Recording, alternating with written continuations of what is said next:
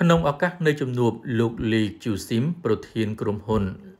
Lily Holding Group បានថ្លែងនូវគុណយ៉ាងជ្រាលជ្រៅជូនចំពោះសម្ដេចធិបតីដែលបានឆ្លៀតពេលវេលាដ៏មមាញឹកអនុញ្ញាតឲ្យរូបលោកនិងសហការីចូលជួបសម្ដែងការគូសំនិងពិភាក្សាការងារ ព្រមទាំងបានអបអរសាទរចំពោះសម្ដេចធិបតីដែលត្រូវបានរដ្ឋសភាបោះឆ្នោតជ្រើសតាំងជានាយករដ្ឋមន្ត្រីនៃព្រះរាជាណាចក្រកម្ពុជានីតិកាលទី7កាលពីខែសីហាឆ្នាំ2023កន្លងទៅនេះជាមួយគ្នានេះលោកប្រធានក្រុមហ៊ុនក៏បានគោរពជំរាបជូនសម្ដេចធិបតីអំពីដំណើរការអាជីវកម្មរបស់ក្រុមហ៊ុននៅប្រទេសកាណាដា និងតាមបណ្ដាប្រទេសមួយចំនួនផងដែរ ហើយក្នុងដំណើរទស្សនកិច្ចរបស់លោកមកកាន់ព្រះរាជាណាចក្រកម្ពុជានាពេលនេះ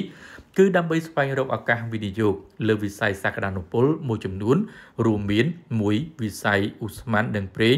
2វិស័យសុខាភិបាល3មជ្ឈមណ្ឌលវិតម្លៃទទួលស្គាល់សម្រាប់ការនាំចេញ4វិស័យកែច្នៃចំណីអាហារនិង Logistics និង5វិស័យយានយន្ត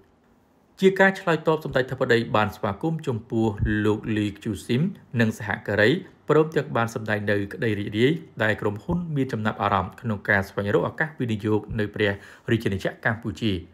សម្ដេចធិបតីក៏បានគូសរំលឹកផងដែរថាកម្ពុជាបានបង្កើតនៅតំណាងសភាប្រជាកម្មកម្ពុជាចំនួន2នៅប្រទេសកាណាដា គឺនៅទីក្រុងតូរ៉ុនតូនិងទីក្រុងម៉ុងត្រេអាល់ ដើម្បីផ្សារភ្ជាប់ទំនាក់ទំនងពាណិជ្ជកម្មរវាងប្រទេសទាំងពីរនិងកាណាដាក៏ដូចជាជួយសម្របសម្រួលការនាំចេញផលិតផលពីប្រទេសកម្ពុជាទៅកាន់ប្រទេសកាណាដានិងពីប្រទេសកាណាដាមកកាន់កម្ពុជាផងដែរហើយតាមរយៈដំណើរទស្សនកិច្ចរបស់ក្រុមហ៊ុនមកកាន់ព្រះរាជាណាចក្រកម្ពុជានាឱកាសនេះ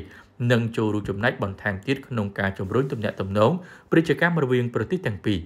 សម្ដេចធិបតីបានបញ្ជាក់ថារាជរដ្ឋាភិបាលកម្ពុជាតែងតែគ្រប់គ្រងដល់វិស័យឯកជនដោយផ្ដល់ការលើកទឹកចិត្តនិងជួយសម្របសម្រួលក្រុមហ៊ុន ដែលបោះទុនវិនិយោគនៅកម្ពុជាឲ្យទទួលបានជោគជ័យនិងមានការរីកចម្រើនធំធាត់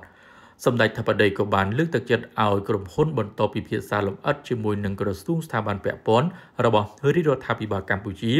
ដូចជាក្រសួងរ៉ែនិងធម្មពលក្រសួងពាណិជ្ជកម្មនិងក្រសួងសុខាភិបាល។